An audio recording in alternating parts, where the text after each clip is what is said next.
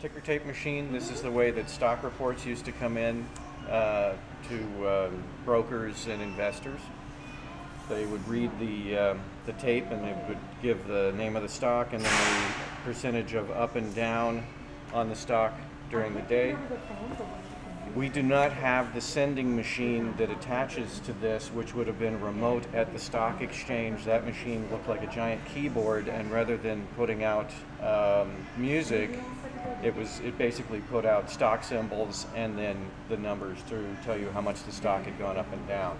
What we have is a default code that comes out of the machine uh, that is basically just the result of the machine defaulting to its own, um, basically just the, the numbers and letters that would come out of it with no signal going to it other than an electrical pulse.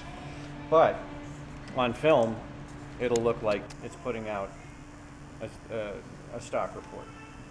One of the first things that you have to do with the ticker tape is you have to ink this little felt drum up here. So you take the ink and you brush that on to the felt drum. Make sure that you get a fairly even coating on it. And if the client has the ticker tape out for a week or so, they'll probably need to do this a couple of times during that week because it does dry out fairly quickly and it does not have a way of inking itself.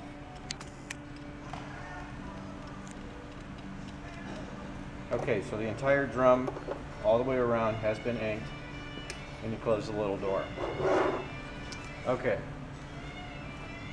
Once the drum is inked, place the glass dome on the machine, which is how it would look when it was in operation.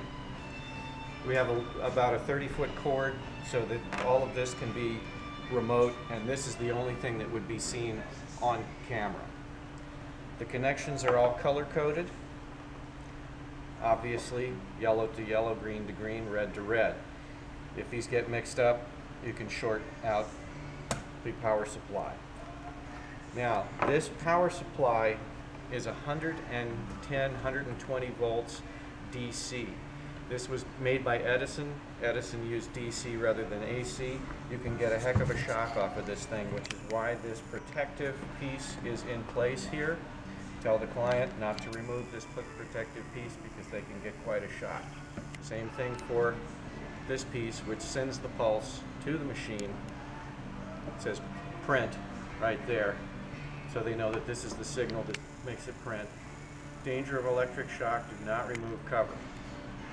There's no way to get a shock from either of these things unless you remove these cover, the cover. Okay, to operate the machine, you just simply hit the key and the speed at which you hit the key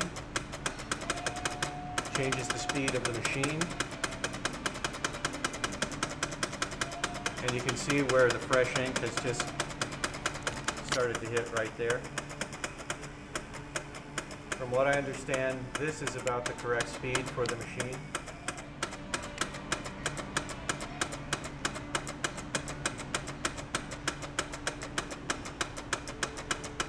Now, it is the same signal over and over again, but as I said, on camera, it'll all, all they'll need to see is that there are figures and numbers coming out of there. Any questions?